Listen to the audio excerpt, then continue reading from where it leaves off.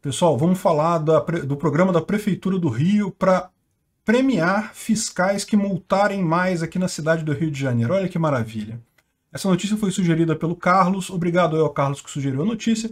Obrigado a você que está assistindo aos nossos vídeos aqui. Você já sabe, se gostar do nosso conteúdo, por favor, não deixe de é, se inscrever no canal, deixar o seu like para ajudar a gente a continuar crescendo, tá? Então vamos lá, essa novidade, isso não é novidade não, tá gente? Isso já aconteceu em outras épocas aqui no Rio de Janeiro e já acontece em várias cidades por aí. E é, é, aquela mesma ideia, né? A prefeitura tá meio que na merda, precisando de grana, né? Dinheiro, é sempre bom dinheiro. Eu gosto muito de dinheiro. Você não gosta de dinheiro também? Pois é, Eduardo Paes gosta muito de dinheiro, é impressionante. Então eles resolveram fazer o seguinte, ele vai dar um bônus salarial para funcionários que aplicarem mais multas de trânsito. Olha que lindo isso. Como eu me sinto mais protegido agora que eu moro na cidade capitaneada pelo Eduardo Paes, né? Olha só que maravilha. Tô sendo, eu tô sendo irônico, tá, gente? Eu tenho que avisar isso na internet, porque a internet é fogo para o pessoal entender ironia.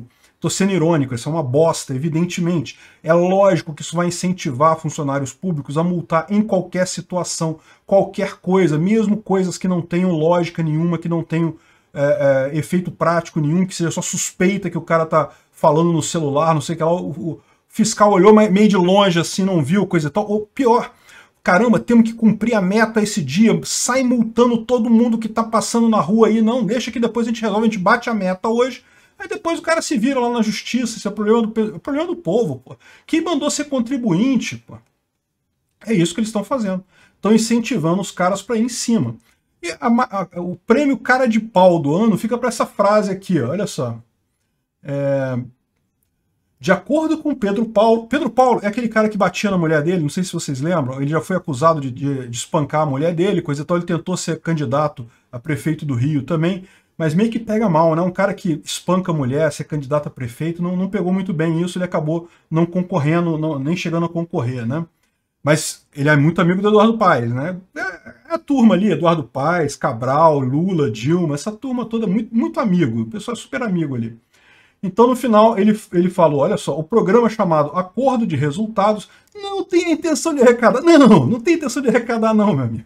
Eles botaram um prêmio em dinheiro para quem arrecadar mais dinheiro, mas não tem intenção de arrecadar, não é só impressão sua, cara, é impressão sua. Não é não, eles só botaram um prêmio, só estão querendo arrecadação porque, é, porque, segundo eles, isso aqui ele quer fazer o seu papel como agente fiscalizador, não sei o que lá. É, tá. eles estão preocupados com a sua vida, acredite nisso. Olha só, a coisa não para aqui não, olha só.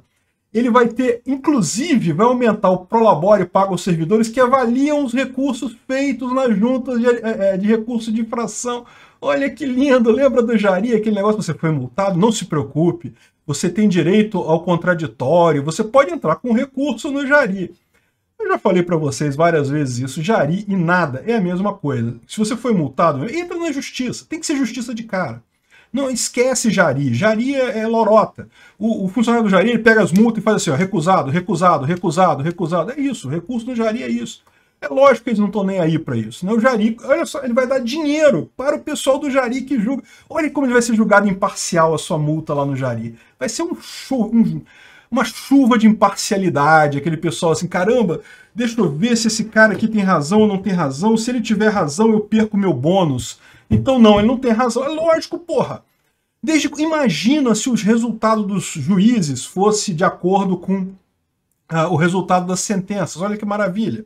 É o que, é o, que o Eduardo Paes está fazendo aqui, está pegando o Jari.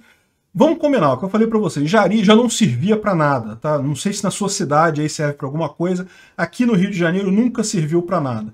Você recorrer ao Jari é perda de tempo. É o que eu falo sempre. Entra na justiça, é justiça direto é a solução que você tem por enquanto. Mas mesmo na justiça é complicado, tá? Não tem esse troço, não. É, é aquele negócio que a gente fala, né?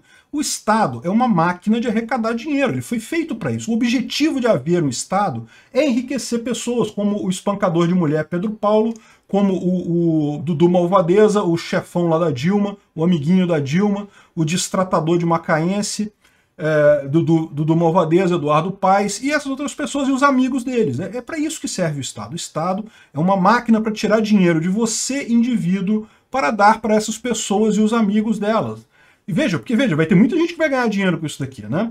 Ele já falou que vai aumentar o número de é, lombadas eletrônicas. Cadê? Onde é que está aqui?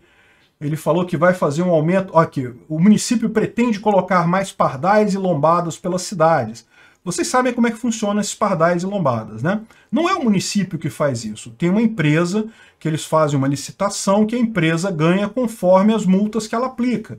Então você imagina como deve ser bem calibrado esses pardais, essas lombadas. A calibração é uma maravilha de calibrado. Porque a empresa ganha mais se ela multar mais no final das contas. Então, no final das contas, é o que o nosso amigo aqui, Helen Balzana, ou nossa amiga aqui, tá falando, né? Ao invés de asfaltar, não sei o que lá, de corrigir buraco na rua, de tentar ajudar. Mas, Helen, olha só, se a prefeitura fizesse isso, ela estaria cumprindo alguma coisa parecida com o interesse da sociedade de fato. Não é isso. O interesse da prefeitura é arrecadar dinheiro, é roubar mais, para enriquecer Pedro Paulo, espancador de mulher, e Eduardo Paes, ladrão, é, amigo do Sérgio Cabral, da Lula e do Dilma, é, é, isso, o objetivo do governo é esse, não é, porra, fazer coisa pela sociedade. Para com isso.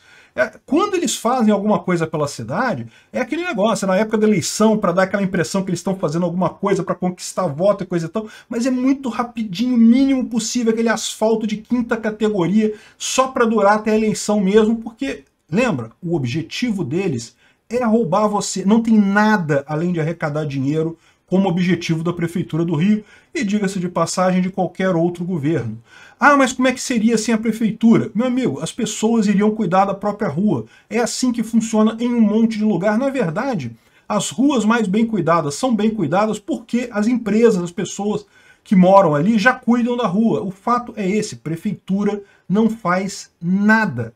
Se você quiser imaginar como é que seria uma, uma, uma cidade no Ancapistão sem uma prefeitura tomando conta, olha Las Vegas. Las Vegas é privada. As ruas lá, quem cuida das ruas são os cassinos de Las Vegas.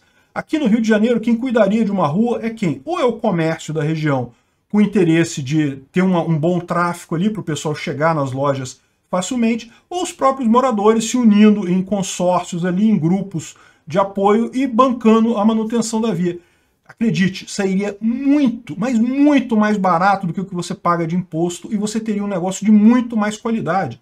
Afinal, o que, que você acha que é mais barato? Você pagar para o político.